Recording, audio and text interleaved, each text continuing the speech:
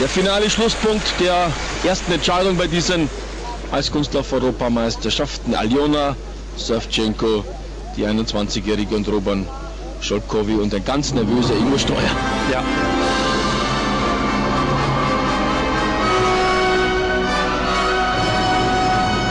Also auch bei den beiden. Toi, toi, toi. Sie haben hier nichts zu verlieren.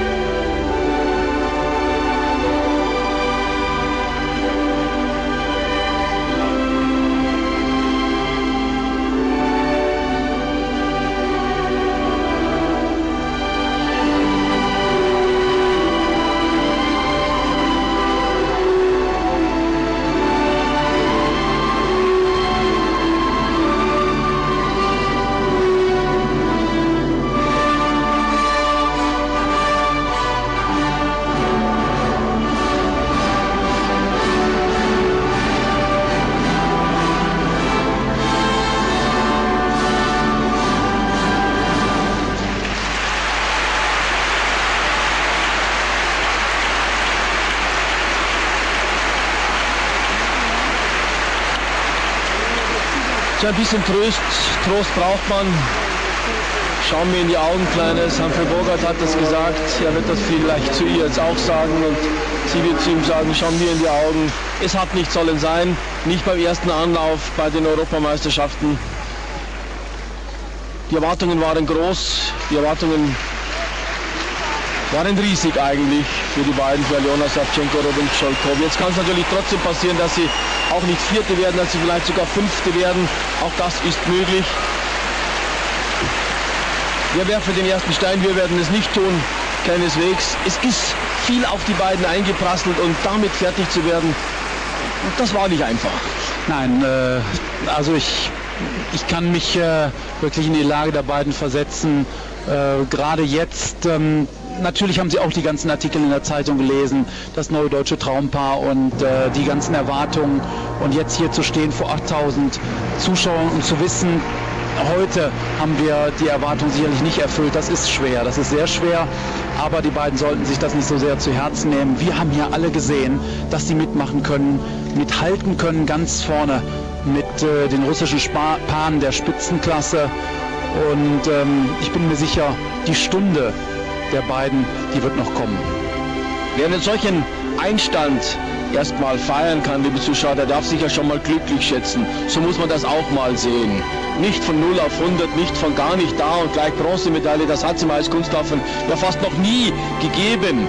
Aber erstmal schon in der letzten Startgruppe zu sein, sich messen lassen zu dürfen mit Tatjana Jodnani, mit Maxim Marini, mit den beiden ehemaligen Weltmeistern, mit Maria Petrova, mit Alexei Tichonov, mit Julia Albertas, mit Sergei Slavnov, liebe Leute. Äh, lasst uns doch einfach mal ein bisschen auf dem Boden bleiben und feststellen, die Deutsche Eislaufunion hat ein unglaublich talentiertes Paar, das äh, schon jetzt Ansätze, mehr als gute Ansätze hat, einmal Weltklasse zu werden. Man ist gar nicht mehr so weit davon entfernt.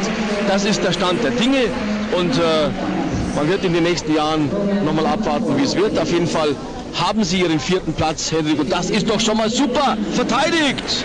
Das ist wirklich unglaublich. Mit großem Vorsprung, sogar sieben Punkte vor Voloscha, Volososcha, Morozov, vierter Platz für Savchenko, Schokolvi. Ich denke, damit hat das Ganze noch ein Happy End. Ja, vergessen wir die Leistung, der vierte Platz zählt und darüber sind wir alle sehr glücklich. Vierter Platz bei den Europameisterschaften in Turin. Freut euch des Lebens, auch wenn der Info noch ein bisschen geplättet schaut. Der